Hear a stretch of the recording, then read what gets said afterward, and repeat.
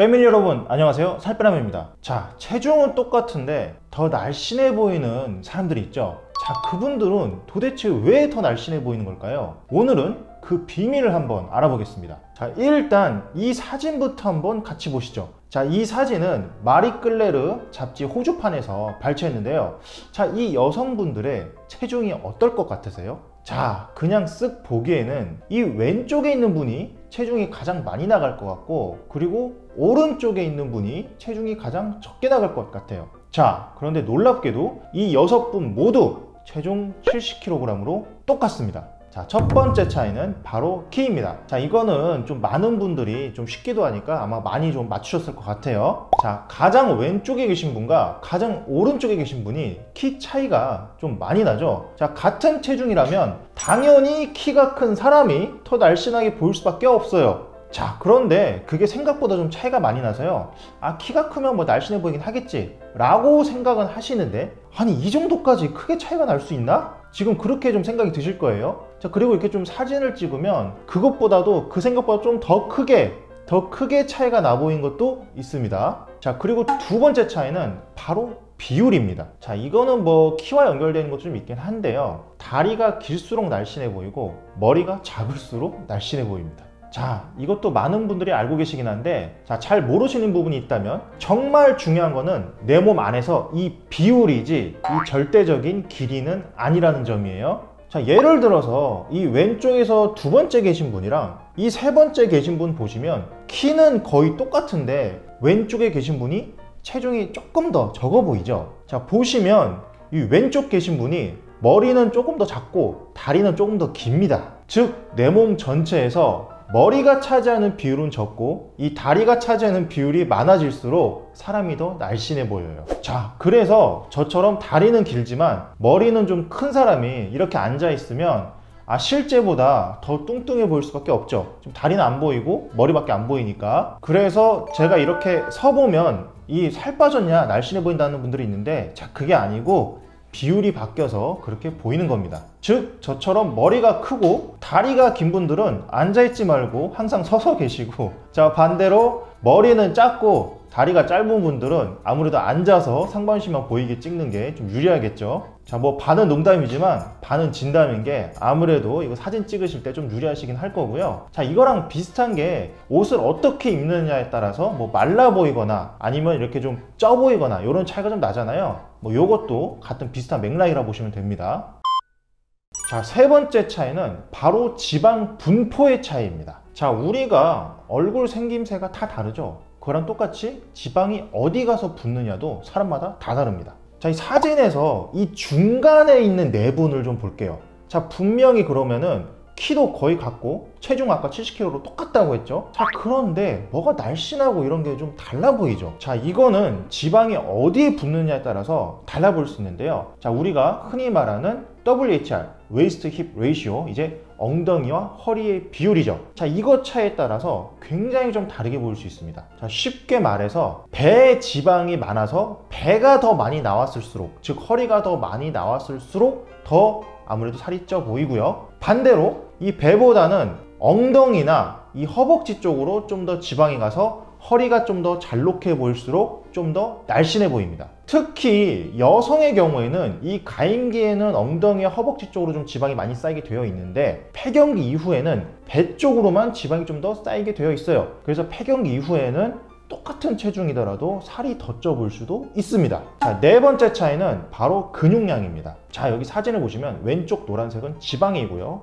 오른쪽 빨간색은 근육입니다. 자, 이게 분명히 무게로는 같은 2kg인데 이 부피로 볼 때는 이 크기로 볼 때는 차이가 나죠. 같은 무게라면 근육은 지방 부피의 80%만을 차지한다고 합니다. 같은 체중이라면 이 근육과 지방 비율이 어떻게 차이 나느냐에 따라서 최고 20%까지 부피가 차이 나볼 수도 있겠죠. 자, 좋은 예시가 바로 이 여성분의 사진인데요. 맨 왼쪽이 66kg로 다이어트 시작 전입니다. 자, 그리고 중간이 식단만 해서 55kg까지 감량을 한 사진이고요.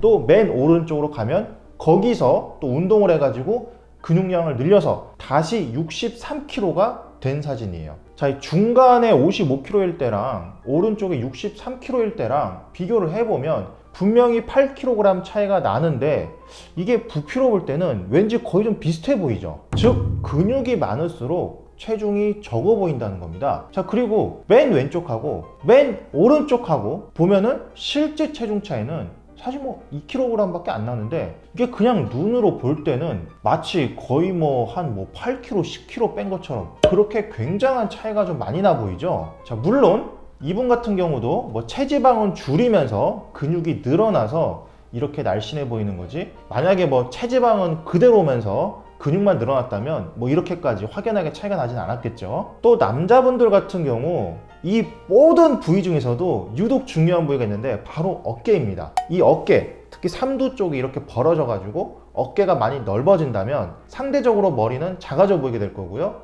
또 복부도 상대적으로 허리가 잘록하게 날씬하게 보일 테니까 좀 더 날씬해 보일 겁니다 자 그럼 이제 체중은 똑같은데 날씬해 보이는 사람의 비밀을 모두 뭐 아셨겠죠? 자 키, 신체 비율, 지방 분포, 근육량 이렇게 네 가지 때문에 차이가 나는 겁니다 자 그럼 우리는 이 같은 체중에도 날씬해 보이고 싶긴 한데 자 근데 그 중에 키하고 뭐 신체 비율은 이거는 뭐 타고나는 거라서 바꿀 수가 없죠 자 뭐 그리고 지방 분포는 키하고 신체 비율보다는 좀 더 바꿀 수 있는 현실성이 좀 더 있지만 뭐 이것도 사실 쉬운 건 아니라고 보시면 됩니다 자 그렇다면 결국 남은 건 근육량인데요 자, 이 근육량은 우리가 분명히 조절할 수 있습니다. 굉장히 좀 많이 조절할 수 있고요. 또 마지막에 사진에서 보셨다시피 그 차이가 굉장히 큽니다. 자, 그렇다면 어떻게 해야 될까? 결국 할 건 두 가지밖에 없어요. 자, 첫 번째, 근육량을 늘린다. 그리고 두 번째, 다이어트 하면서 근손실을 최대한으로 줄인다. 자, 그래서 첫 번째, 근육량을 늘리려면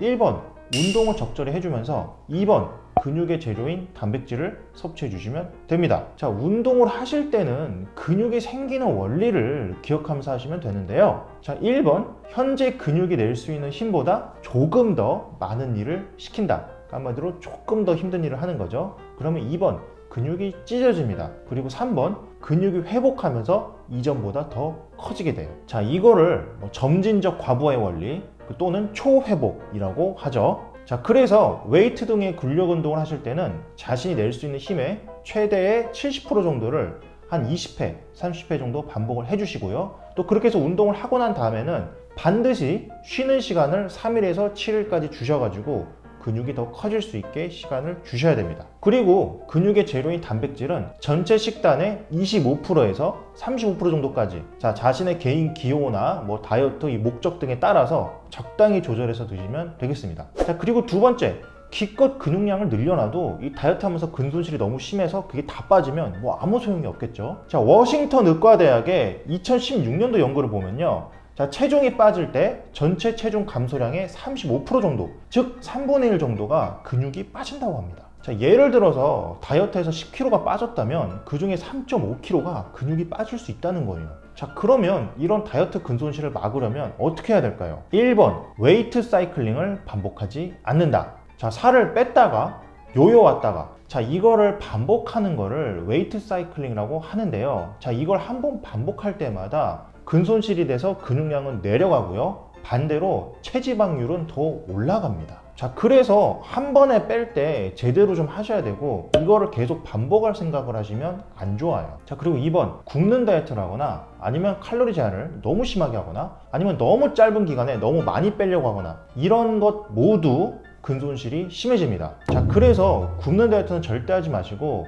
칼로리도 하루 여자 1,500, 남자 2,000 정도는 꼭 맞춰서 좀 드셔주시고요. 그리고 되도록이면 한 달에 3kg 이상 빼는 거는 좀 빠를 수 있으니까 조금 더 천천히 하시는 게 좋습니다. 살 빼는 멤버십 가입을 하면 입이 안 터질지도? 자, 체중이 같아도 좀 더 날씬해 보이는 사람들이 많은데 자, 그 사람들은 과연 왜 그렇게 보이는 걸까? 오늘 한번 알아봤습니다. 어, 체중이 나랑 똑같은데 왜 저 사람은 더 날씬해 보이지? 하셨다면 오늘 영상이 좀 도움이 되셨으면 좋겠고요. 세상 모든 일에는 뭐 이유가 있듯이 역시 그냥 겉으로 딱 보기에는 그냥 간단하게 보기만 할 때는 같아 보여도 그 안에는 숨겨진 이유가 있어서 다 차이가 나게 마련이죠. 자, 이런 단순한 차이들이 결국에는 큰 변화를 만들어 올 수 있듯이 자, 우리 패밀리 여러분들도 앞으로는 이 차에 대해서 잘 아시고 여러분들도 더 날씬해 보이는 그런 몸이 되셨으면 좋겠습니다. 자, 오늘도 다이어트와 건강을 위해서 열심히 노력하시고 공부하시는 우리 패밀리 여러분들.